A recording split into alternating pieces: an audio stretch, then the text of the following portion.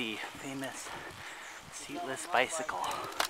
This guy has ridden 40,000 miles this year without a seat.